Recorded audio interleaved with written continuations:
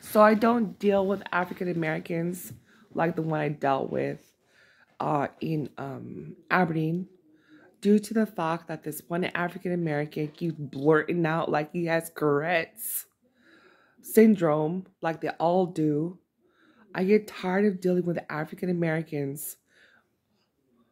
They know they've been transferred back before God, before AD, due to the trouble and heartache to deal with just one African American.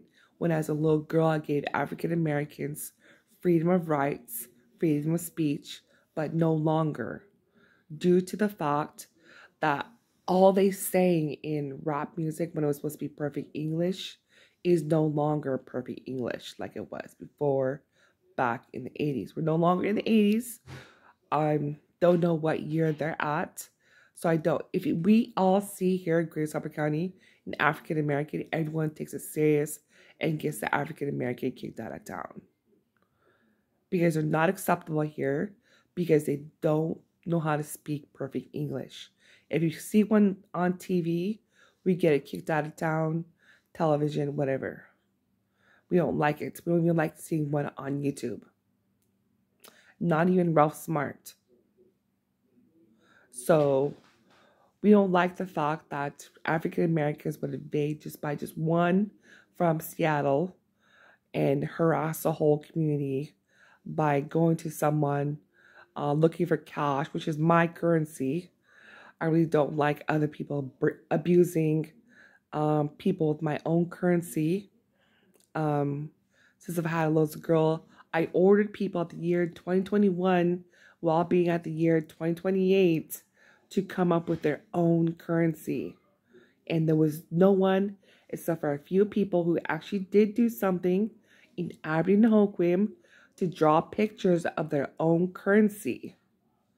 So all the beautiful cash you see in the world, you know, the other planets, you know, stuff like that. They all kept trying to find a little girl who would give that cash.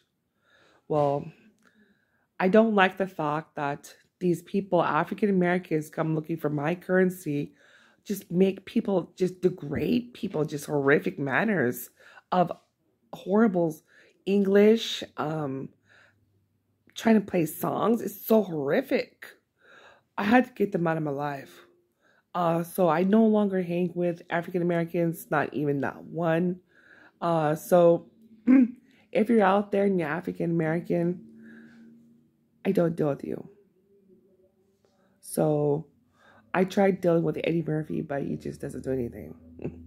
so he speaks really good English. Everyone understands him. If you do a lot of rap songs and we can't understand you, we don't want you. So don't be going out blurting about a bunch of stuff, saying it's speaking in tongues when it's not. So just kind of don't we kick them out of town. That's what we do. They're too harmful to the planet. And I don't like taking care of the planet or the animals. So just kind of remember, move on because African Americans don't work. None of them do. None of them in Seattle, Tacoma, nowhere. So, if African Americans didn't come up with their own currency like someone told them to at the year 2021, that's their own problem why they don't have enough money to pay their own bills. Worldwide bills when it comes up. For the big grocery bill, gas bill, electric bill, and also the other bills.